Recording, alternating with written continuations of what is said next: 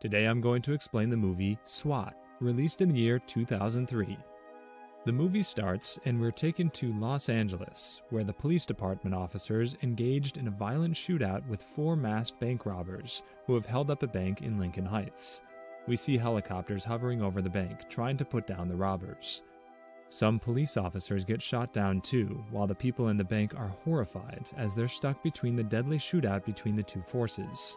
We then go on to see that two of the robbers are in the bank holding hostages, while the other two are engaging the cops with AK 47 automatic rifles and full body armors. Being only armed with pistols, the police are hopelessly outmatched. With all other weaponry failing, the officers on scene call for the Special Weapons and Tactics Unit we call SWAT. The SWAT unit arrives, some via helicopter and others on a huge SWAT truck. The other police officers are relieved to see help. From the helicopter, one of the SWAT officers named Jim Street and Brian Gamble rappel down with two other men onto the roof of the bank and tunnel their way down to the storeroom next to the main lobby. We then see that a couple of SWAT snipers are deployed to the roof of a building across Jim, and a third team approaches from the ground. The shootout goes on for a long time, and the people keep getting killed. While Jim and Gamble are entering the bank, one of the two gunmen outside tries to flee in a getaway car, but is promptly taken out by a sniper with a single round to the head.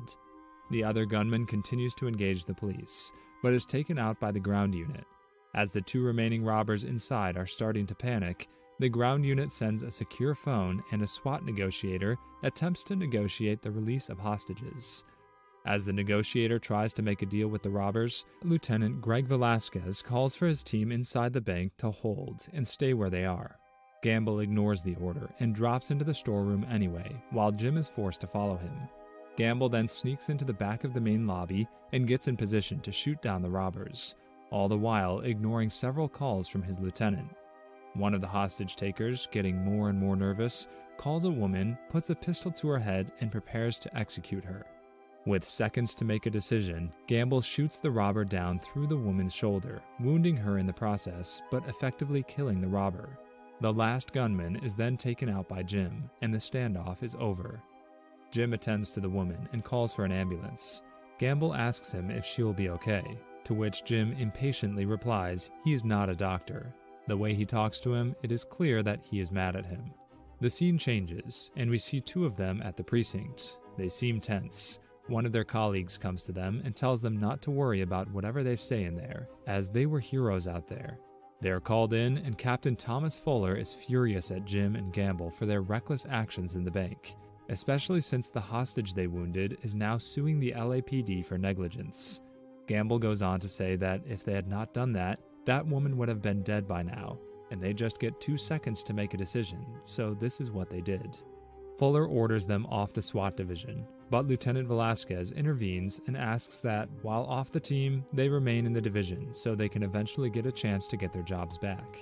He also goes on to add that they are two of the best they've got, so they should not let go of them just like that. Fuller agrees and relegates them to cage duty, a degrading position involving the maintenance and distribution of weapons and accessories to other officers. Gamble is insulted, and he's extremely pissed because he thinks that they've done the right thing. He loses his control when Fuller further insults him and goes on to advance toward him to hit him, but he is held off by the other officers. He then storms off in anger.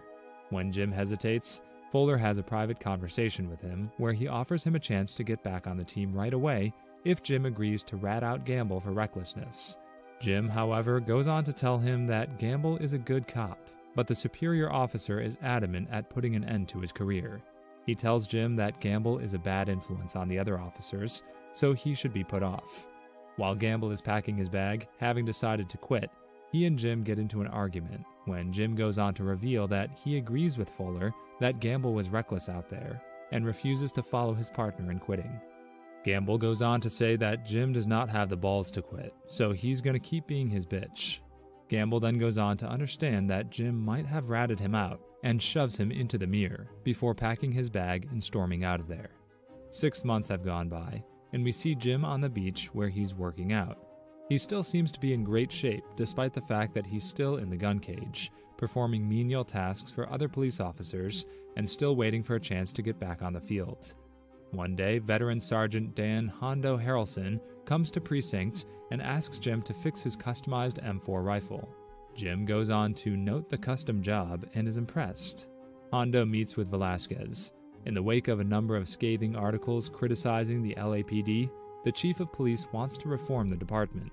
Velasquez goes on to say that he wants Hondo to form a new SWAT unit for him to command. Velasquez then offers Hondo two of his own officers, TJ McCabe and Michael Boxer. Hondo accepts them and decides to pick out three more candidates from the personnel files. The only problem is, Captain Fuller will have the final say on who goes into this new unit. Jim then goes on to work diligently on Hondo's weapon, and that day when he goes home, he finds his girlfriend trying to move out of their apartment before he comes back. When he confronts her, she tells him that the things between them are not good anymore, and Jim hasn't been the same since he was taken off the SWAT team. Jim is heartbroken, and he is unable to find any words to express how he feels. They come close, and she tries to kiss him one last time. He, however, stops her, and she then goes on to thank him for everything before leaving. During his time in the cage, we see that Jim has invented a new piece of equipment that he plans to patent to law enforcement elsewhere. It is a gigantic hook and chain designed to take down walls or barricades and end hostile standoffs, which he calls the key to the city. As he's explaining his invention to his gun cage partner, named Gus, Hondo shows up. He's there to get his gun back from Jim and appreciates Jim's idea, and he's also impressed by Jim's work on it as Jim has made many improvements in his weapon. Then goes on to take some of the officers out for target practice on the firing range. The showy TJ manages to outshoot Hondo, but Hondo bets $200 that Jim, who's testing weapons on his own, can beat McCabe. TJ is overconfident, and he goes on to accept the challenge. They then engage in a shooting competition, and Jim, of course, ends up beating TJ. Everyone out there is surprised by his shooting skills. But Hondo is not surprised, because he already thinks highly of the man. On the other hand, a French mobster named Alex arrives at Los Angeles International Airport and heads out into the city. It's revealed that he's there to visit his uncle's favorite restaurant as a birthday surprise to the man, but in reality, he's there because he has to settle a score with him, as he just got to learn that his uncle has been stealing money from the family for some time. When he gets to the restaurant, he right away kills his uncle by slitting his throat, and then he hits the road, only to be pulled over by motorcycle cops for a broken taillight. Much to his bad luck, the car Alex is driving belongs to his uncle, and there's an arrest warrant out for him. The officers detain Alex for questioning and verification of his identity. Even attempts to use bribery, but it does not work. In the meantime, Hondo recruits Jim as his driver for the day in order to go on a SWAT team recruitment run. While in the car, Hondo reveals he was a Marine and a combat trainer before, while Jim was a Navy SEAL. When they get there, they first investigate an officer named Deke, whom they find in the middle of a foot pursuit with the suspects. Hondo and Jim intervene and end the pursuit, angering Deke, who wanted to do it alone. But he soon softens up when Hondo reveals he's from SWAT and offers Deke to study at SWAT school. The two then visit another candidate, who makes a bad first impression on Hondo by being a vegetarian and being too polite and too much of a stickler to last long in Hondo's unit. They then move on to a Metro police officer named Chris Sanchez, who has apparently applied and qualified several times for SWAT but keeps getting turned down.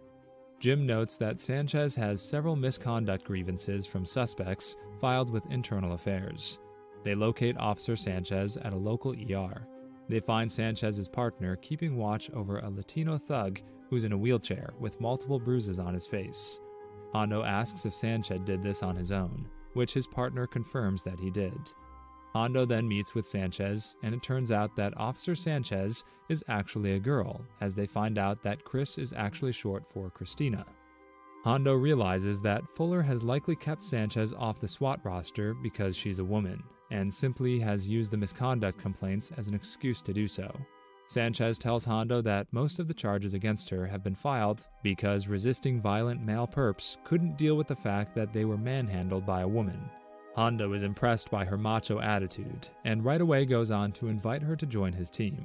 When they make their way back to headquarters, Jim is frustrated and he right away asks Hondo if he's planning on toying with him for another day or he's actually going to tell him why he took him on this recruitment run. Hondo asks Jim if he wants to fill the last spot on the team. Jim hesitates when he thinks about it, because he's not sure if Fuller is going to allow him to go out on the fields after what happened with him and Gamble a few months ago. Hondo, however, tells him to join his team. Hondo then goes on to meet Fuller and gives him the list, but he, of course, rejects both Sanchez and Jim. However, Hondo also refuses to back down. Fuller then makes a compromise. He says that he will accept the group as is for now, but should they fail the preliminary trials needed for SWAT, then Sanchez goes back to her subway routine and Jim and Hondo will both be taken off the force. Hondo agrees, confident his new team is up for the challenge. After a few days, the time has come for the team's final evaluation. Fuller goes on to set up a hostage situation for the team to test them. He says that the team will have to infiltrate an airplane taken over by terrorists. They will have to take back control of the aircraft and take out all six hijackers within eight minutes. When Jim looks over the plane's schematics, he goes on to note that there's an alternative entry point to the plane that no one will expect. It is a tiny elevator shaft meant for food trays, which no man could fit in. But their team actually has what no other team has Sanchez, and she right away jumps at the chance to break Fuller's heart. They sneak onto the plane and take out all six hijackers, although TJ takes a hit that would have been fatal had it been real. Despite this, the new team sets a new course record, and Fuller is, of course, annoyed. Time goes by just like that, and Hondo's team is ready now. One day, they learn that Alex has been captured by the police, and he's to be transferred to another location, so they've asked for Hondo and his team's assistance just in case. When he's being transferred, Alex's associates, disguised as LAPD officers, attempt to break him out, killing two sheriff's deputies. Hondo's team manages to arrive in time to kill the gunman and recapture Alex. As reporters swarm the team, as reporters swarm the team, Alex announces to the cameras that he's willing to offer $100 million to whoever's able to break him out, which draws the attention of criminals across the city.